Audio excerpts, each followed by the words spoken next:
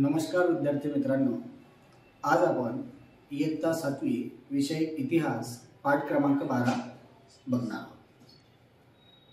पाठ क्रमांक बारा साम्राज्याची वाटचाल. आतापर्यंत आपण मराठी सत्तेचा उदय व विस्तार पाहिला. स्वराज्य स्थापनेपासून तर अगदी स्वराज्याचा जो विस्तार आहे साम्राज्याचा विस्तार आहे. तो कशा कसा झाला कशा कशा प्रकारे झाला कोणी कोणी काय काय कामगिरी केली त्याच्यामध्ये स्वराज्याचा विस्तार करत असताना शिवाजी महाराजांपासून जी सुरुवात झाली. शिवाजी महाराजांनंतर त्यांचे पुत्र संभाजी महाराज संभाजी महाराजांनंतर राजाराम महाराज आणि राजाराम महाराजांनंतर ताराबाई या सर्वांनी साम्राज्याचा विस्तार केला.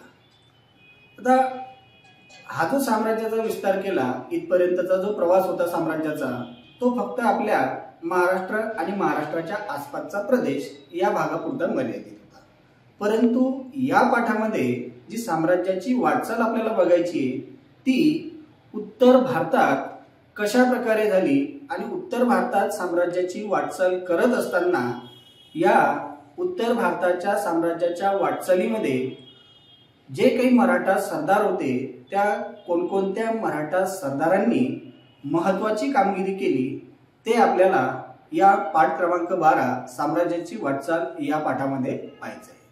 त्यामध्ये इंदोरचे होडकर नागपूरचे भोसले आणि ग्वालियरचे शिंदे या तीन घराण्यांची जी कामगिरी होती ती कामगिरी आपल्याला या पाठामध्ये घ्यावयाची आहे.